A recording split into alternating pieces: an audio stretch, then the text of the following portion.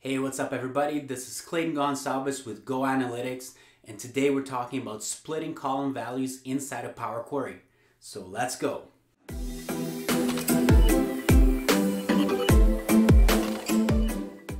Hey, welcome to our YouTube channel.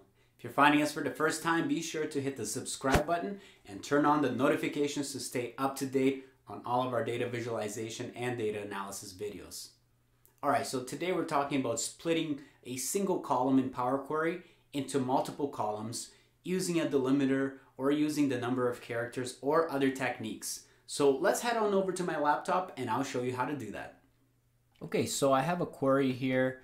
Uh, this is coming from the AdventureWorks database, and it's essentially uh, all of our employees here.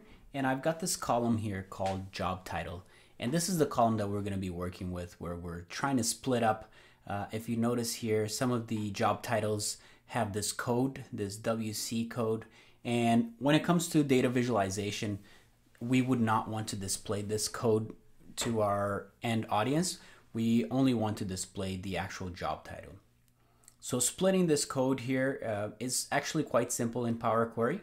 You can either go to transform data and then go to split column or it's even available in the home tab here. Um, it allows us a quick access to go to split column. And when you notice uh, that when I expand this uh, button down, we have several options to split this column. We can split it by a delimiter, by number of characters, by position, by lowercase to uppercase and vice versa, or by digit to non-digit and vice versa. So by non-digit to a digit. And what we want to use for in this case here is by delimiter because we've got this little dash here. So we can choose by delimiter. And then we'll have this dialog box open up here and it allows us to either select a built-in delimiter or choose a custom delimiter. So if I expand this down here, you notice that we have a comma, equal sign, semicolon, space, tab, or custom. So I'm gonna choose custom. And what we wanna use for our delimiter here is going to be a dash. Now you have a couple of other options here. The first option is um, at what frequency do you want to split this by?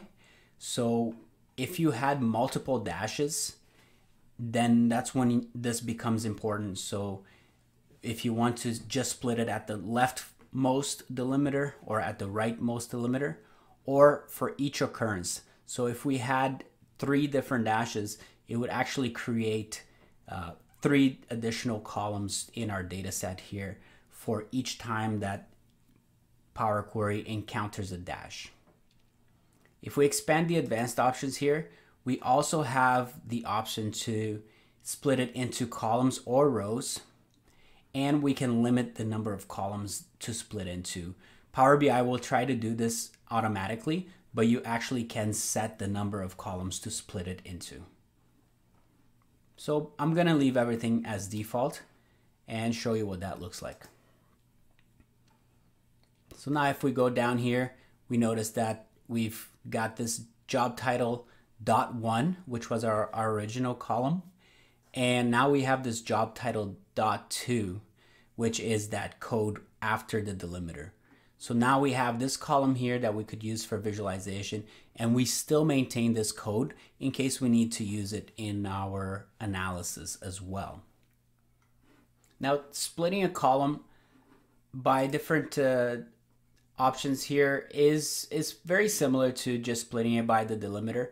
So you also have different options here. For example, if there were just a certain number of characters, so let's say uh, if we want to to break this column up for every every five characters would be a new column we can set that up here and um, it'll ask us the number of characters so we can just enter five there and again it'll ask us how we want to split it so do we want to only get the first five digits or only the last five digits or like i said before if we choose repeatedly then every five characters is going to become a new column. So let's take a look at what that looks like. And as you notice here, of course, this doesn't make sense. So this is just for uh, for demonstration purposes. But as you notice here, it created uh, six additional columns here. And every at every five characters, it split that up. So we had our job titles here and they were split at every five characters for us here. So that's it. That's how you can split a column in Power Query. I hope you found this video helpful and if you did, be sure to hit the like button and we'll see you in the next video.